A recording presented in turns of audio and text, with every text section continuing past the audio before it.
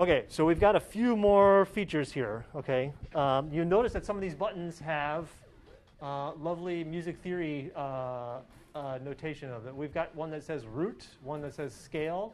Okay, go ahead and click scale. I've already it's, and you notice that it says cro- that, that's that is C H R O M.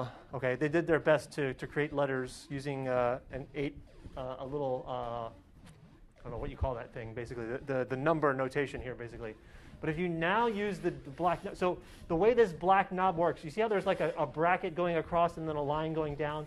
It's whichever button you press here on the panel, the white buttons here, that's what the data knob is going to control. Okay, so the fact that uh, we've pressed scale, now the data knob will actually change the scale. So there's major scale. Keep flipping and you can hear the differences as it. We might not be hitting the third.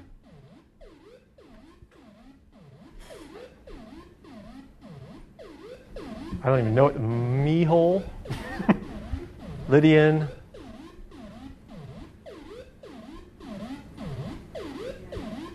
I'm not hearing any differences right now.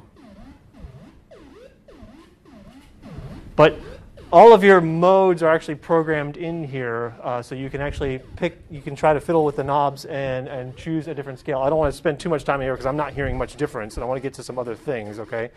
Um, we've done the number, oh yeah, we also have, uh, there's a button here that says stages and mode. So go ahead and click stages and turn it, now see how it says STA08. If you turn that down, we're now skipping the eighth stage. It's now going to just do seven stages. Go ahead and turn it down to four. So if you want to, if you want a tighter pattern,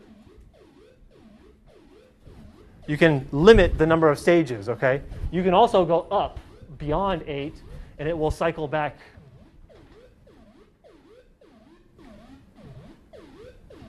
Three, four. We see what it's doing? No, it's basically going through all eight, and then it's going through four, and then it's starting over again. Okay. So you can get some pretty complicated results there. I'll put it on eight just to mess, not mess people up.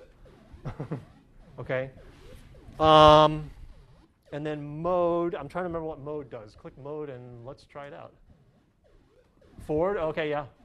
There's reverse, so you can go backwards. I think it's uh, forward and back.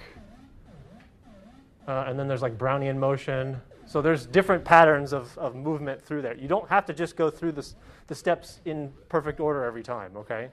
So you can play around with that. Random.